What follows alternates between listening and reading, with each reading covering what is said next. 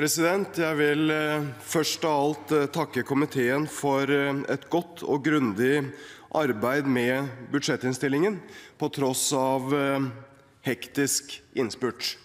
Og en spesiell takk til samarbeidspartiene Kristelig Folkeparti og Venstre, som sammen med regjeringspartiene har funnet gode løsninger som tjener både innbyggere og kommunene våre. Selv om budsjettet vi behandler i dag, gjelder for 2017, må vi ha en lengre tidshorisont enn som så. Vi må også ha et samfunnsperspektiv utover våre egne budsjettområder. Vårt viktigste oppdrag er å bidra til å trygge velferden, slik at våre barn og generasjoner etter dem også kan oppleve et samfunn med muligheter for alle. Hvis vi skal bevare det gode velferdssamfunnet vårt i fremtiden, må vi løse utfordringene i vår tid.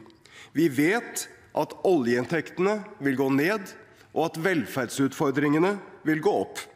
Internasjonal uro og flyktningstrømmer krever mer av oss. Norske bedrifter og arbeidsplasser skal gjennom omstilling for å finne nye næringsveier som kan sikre arbeid og finansiere fellesgodene våre. Klimaendringer og grønt skifte vil prege både hverdagsliv og næringsliv i årene som kommer. Det er viktigere enn noen gang at vi lykkes med å fornye, forenkle og forbedre offentlig sektor, slik at vi kan løse flere oppgaver for fremtiden. Det gjelder ikke minst for kommunene, som er og skal være grunnplanken i velferdssamfunnet vårt og i demokratiet vårt. Regjeringens mål er sterke, levende lokalsamfunn. Vi vil spre makt og bygge samfunnet nedenfra. Da må vi også bygge større velferdskommuner som har kraft til å gi gode tjenester og drive god samfunnsutvikling. Et bredt flertall på Stortinget har sluttet seg til målet om færre kommuner, og vi har kommet langt i riktig retning. Om lag halvparten av landets innbyggere bor i en kommune som har sagt ja til sammenslåing og én av fire vil bo i en ny kommune etter 2020. I dag er det hele 88 kommuner som har gjensidige vedtak om å bygge en ny kommune. Det har skjedd større forbedringer i kommunesektoren de siste tre årene enn i de foregående 50. Og president, jeg vil som varslet legge frem en sak for Stortinget i løpet av våren. Og jeg er også overbevist om at kommunereformen kommer til å fortsette, ganske enkelt fordi kommunenes utfordringer de går ikke over.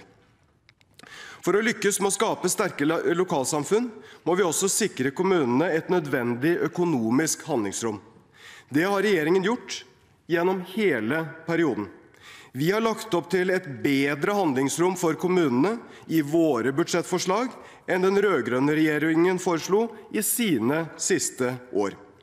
Disse rammene har gjort det mulig å gjennomføre et kunnskapsløft i skolen, bl.a. gjennom en kraftig satsing på etter- og videreutdanning av lærere. Vi har forsterket den tidlige innsatsen i barneskolen, slik at flere barn får gode muligheter for å lære, utvikle og realisere sine drømmer. Vi har trappet opp satsingen på helsestasjoner og skolehelsetjenesten i kommunene for å hjelpe barn og unge som sliter med å mestre hverdag og skole. Regjeringen har også lagt til rette for at kommunene kan prioritere dem som trenger det aller mest, nemlig de som sliter med rus eller psykiske helseutfordringer. Også når vi ser på fasiten, har kommunene fått betydelig bedre økonomisk situasjon de siste årene. Og dette er ikke slik som representanten Helga Pedersen uttalte i sitt innlegg, teoretiske øvelser. Nei, dette er fasiten. Den oppgavekorrigerte realveksten per innbygger i kommunene var i gjennomsnitt 1,1 pst. i perioden 2013 til 2016 under samarbeidspartiene, mens den kun var 0,1 pst. da de rød-grønne styrte fra 2009 til 2013. Gjeldsveksten i kommunene har gått kraftig ned, og resultatet i kommunesektoren i 2015 var det beste på ti år. Også fylkeskommunene har fått styrket sin realvekst under Høyre–Frp-regjeringen sammenlignet med de fire siste rød-grønne årene. Vi har gjort, sammen med Folkeparti og Venstre, skremsler om sultefòring av kommunene grundig til skamme. Men debatten om kommuneøkonomi det kan ikke bare være en konkurranse om å bevilge mest mulig penger. Det er en konkurranse som vi alle vil tape på. Med de perspektivene vi ser fremover, må vi være mye mer opptatt av å bruke ressursene vi har, på en bedre måte. Kommunal- og moderniseringsdepartementet har nylig publisert analyser der vi ser på sammenhengen mellom kommunenes ressursbruk og tjenestetilbudet. Analysene viser at kommunene har potensial for å frigjøre milliardbeløp hvis de lærer av de beste kommunene. Det betyr at de kan finne rom for å øke kvaliteten eller bygge ut tilbudet innen skole, barnehage, helse og omsorg. Dette arbeidet blir enda viktigere i årene som kommer. Også i staten er det betydelig rom for å fornye, forenkle og forbedre. Regjeringen har iverksatt en eh, stor satsing på digitalisering, som allerede har gitt gode resultater. Vi foreslår å bevilge 1,2 milliarder kroner til nye IKT- og digitaliseringstiltak i 2017. Dette er store og små prosjekter som forenkler hverdagen for innbyggere, næringsliv og ansatte. Vi lager digitalt helsekort for gravide, slik at de kan slippe dagens håndskrevne kort som må medbringes på alle møter med helsetjenesten.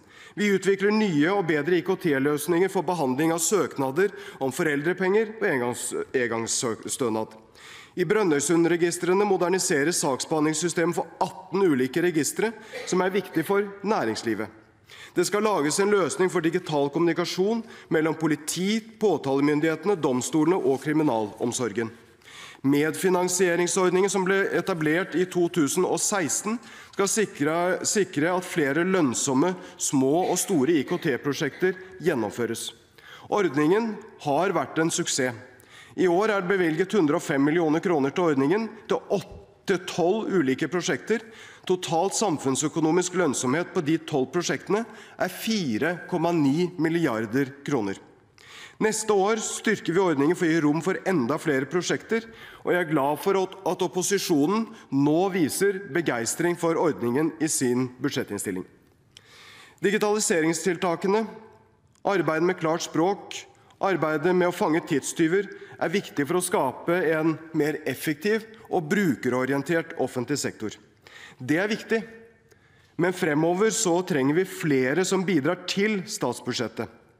Da er også tiltakspakken til kommunene et viktig bidrag for å holde hjulene i gang i områder som opplever nedgang og nedleggelser som følge av tøffe omstillinger i oljerelaterte næringer.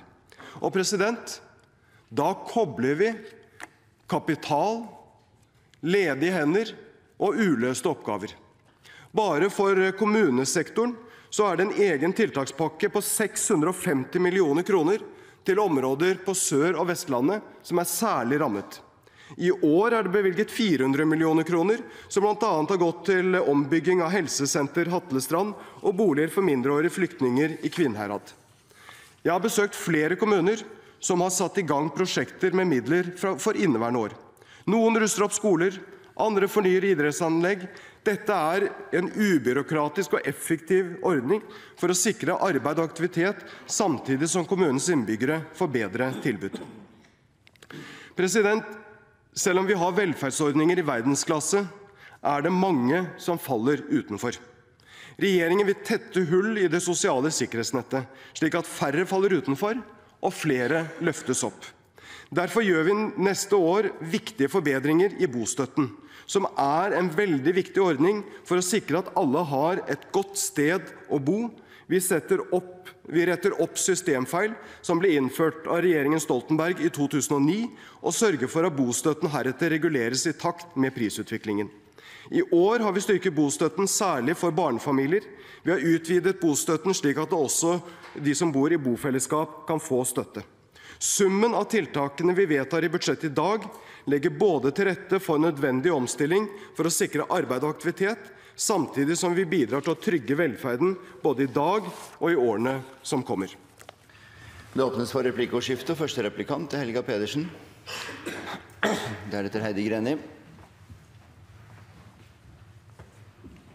Pedersen.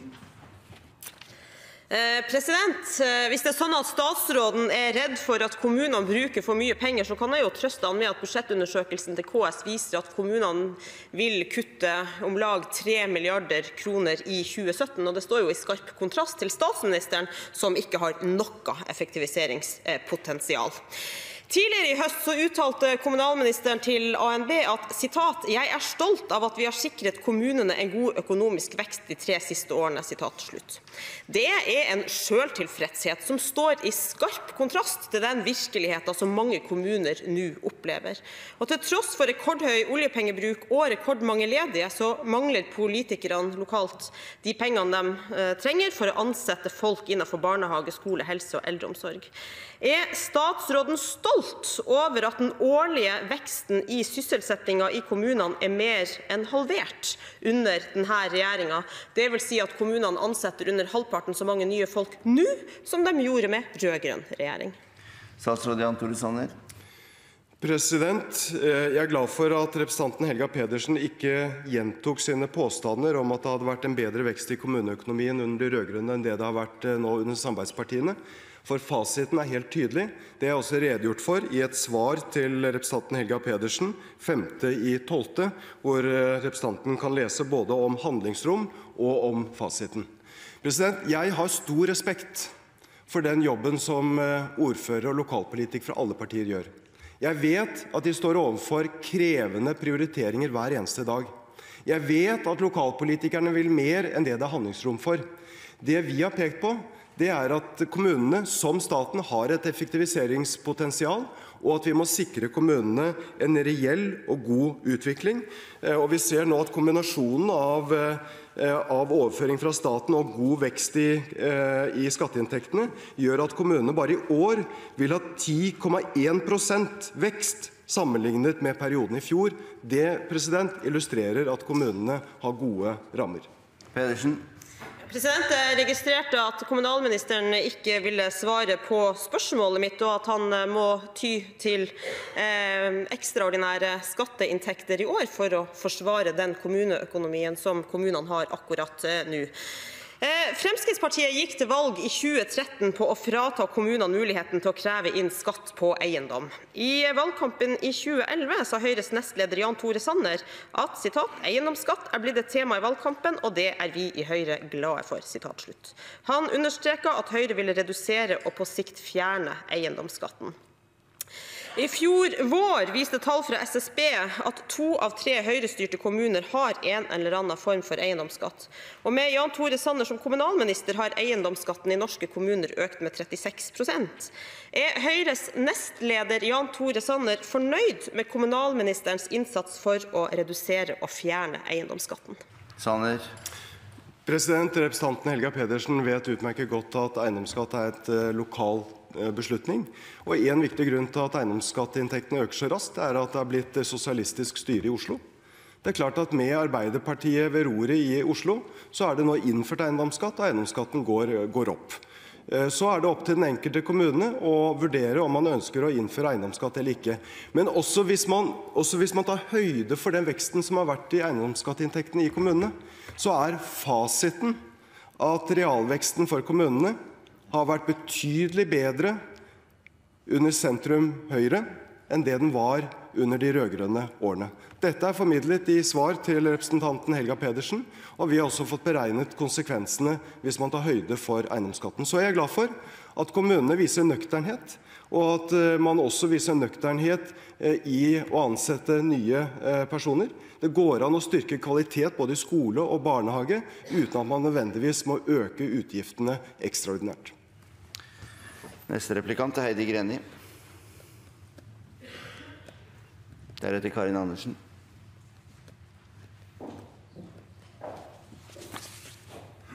President. Lokaldemokratireform ble kommunereformen kalt. Komitélederen bekrefter i Aftenposten i dag at frivilligheten er avlyst. 15-20 kommuner skal tvangssammenslås, står det. Det er for så vidt ingen overraskelse at det ville vært null respekt for folkeavstemninger og null respekt for de lokalpolitiske vedtakene. Det har jeg advart mot lenge. Det som er enda mer skremmende, er det du kan lese lenger ned i artikkelen, der Fylkesmannen sin anbefaling skal være avgjørende for den innstillingen som kommer til Stortinget. Skjebnen til norske kommuner skal avgjøres av hvem som tilfeldigvis er fylkesmann i 2016. Det vises til at Sigbjørn Johnsen i Hedmark og Lars Bonheim i Hordaland ikke har foreslått tvangssammenslåinger. De kommunene der vil altså berge. I min hjemregion er Os, Holtålen og Røros diskutert kommunesammenslåing. Det har blitt nei i to av kommunene. Fylkesmannen i Sør-Trøndelag foreslår tvangssammenslåing, eh, i, eh, i Hedmark ikke. Vil da Os berge i denne omgangen og Holtålen bli tvangssammenslått? Og er dette i strid med alle demokratiske prosesser? President, eh, Jeg oppfattet ikke noe spørsmål, men jeg kan godt kommentere, kommentere innlegget. Eh, for her var det bare oppmerksomhet på det representanten Greni oppfatter som problematisk. Jeg ville heller eh, sett på det arbeidet som lokalpolitikere fra alle partier har gjort, også Senterpartiet. Også Senterpartiets ordførere ser at eh, de kan bygge sterkere velferdskommuner sammen med andre. Og nå er det 147 kommuner som har ja-vedtak. Det er 88 gjensidige vedtak, og det ser allerede i dag ut til at vi går ned fra 428 til 376 kommuner. Det Stortinget har sagt, nemlig at reformen bygger på frivillighet, det står fast, og det vil stå fast. Men Stortinget har også sagt at det kan gjøres unntak i spesielle situasjoner, og det er det regjering og til slutt Stortinget som avgjør, og ikke verken fylkesmenn eller andre. Det er det Stortinget som til syvende og sist avgjør. Greni. Kan statsråden bekrefte at det som står i Aftenposten i dag, er rett? At det er der Fylkesmannen har, anbefalt tvangssammenslåing, vil det bli foreslått for Stortinget? Der fylkesmannen ikke har gjort det, vil det ikke bli foreslått for Stortinget. Det vil da bety en voldsom forskjellsbehandling etter hvordan Fylkesmannen tilfeldigvis har opptrådt i det enkelte fylket. Og Er det da slik at vi tre som har diskutert sammenslåing, at Os berger fordi i, i Fylkesmannen i Hedmark har respekt for de lokale vedtakene, mens Holtålen da risikerer å bli tvangssammenslått fordi Fylkesmannen i Sør-Trøndelag ikke har respekt for det? Og Mener statsråden det her er er et godt demokratisk prinsipp at en enkelt embetsmann da skal avgjøre skjebnen til norske kommuner, hvem som blir nedlagt og ikke? Statsråd Sanner. Hvis det representanten eh, Greni sier hadde vært riktig, så hadde jeg vært enig. Men det er ikke en embetsmann som bestemmer hvilke kommuner som skal gå sammen. Det er det Stortinget som gjør. Stortinget er demokratisk eh, sammensatt og representantene er demokratisk valgt. Og det tilligger Stortinget å fatte beslutningene. Regjeringen vil legge frem en sak for Stortinget basert på kommunenes vedtak, basert på anbefalinger fra fylkeskommunene og våre egne vurderinger, og så er det Stortinget som til syvende og sist eh, avgjør.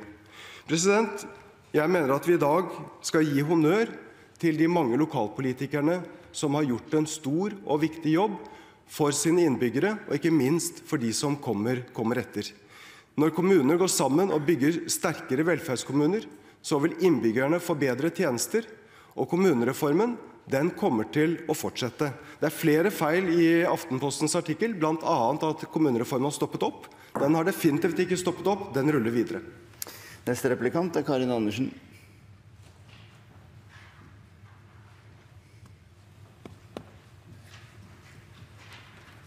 Deretter eh, Marie Jones Brekke.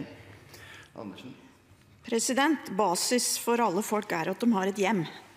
Og Nå øker boligprisene i et tempo der det er veldig mange med vanlige inntekter som ikke klarer å kjøpe.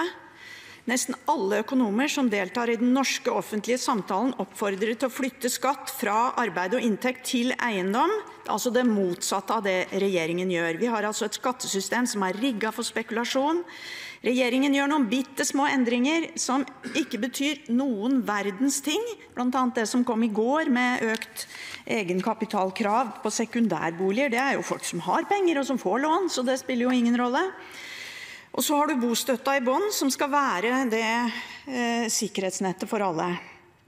Der har mange uføre falt ut av ordningen, og regjeringen fortsetter å si, på tross av egne tall som sier at i år er det 112 300 som får bostøtte, til neste år er det 100 500 som får bostøtte. Det er altså 1200 færre. Er det bra at færre får bostøtte? President, vi tar nå noen viktige skritt for å forbedre bostøtten. Vi retter opp en systemfeil som ble, som ble innført av den rød-grønne regjeringen i 2009. Det er bra. Vi sørger for at det er faktisk inntekt og ikke gammel inntekt som ligger til grunn for bostøttevurderingen. Vi har styrket bostøtten for barnefamilier, eh, og vi har innført mulighet for bostøtte for personer som bor i bokollektiv. Og ja, det er fortsatt behov for å forbedre bostøtten. Det er vårt viktigste boligsosiale eh, tiltak, men vi gjør noen viktige vedtak i dag. Regjeringen har sammen med samarbeidspartiene styrket bostøtten. Det er jeg glad for. Det kommer mange til gode. Så er jeg også glad for at, eh, boligbyggingen har tatt seg opp. Vi må tilbake til 1982 for å finne tilsvarende økning i boligantallet. Og vi gjennomfører forenklinger i plan- og bygningsloven, som også vil føre til raskere planprosesser og lavere byggekostnader. Neste replikant er Marie Jones Brekke.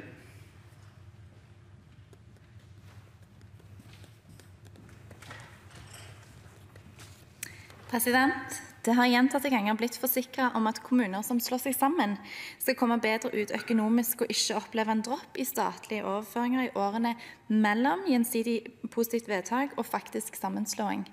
Kan statsråden forsikre at det fremdeles er sånn, og at det skal gjelde uten unntak? Statsråd Sanner.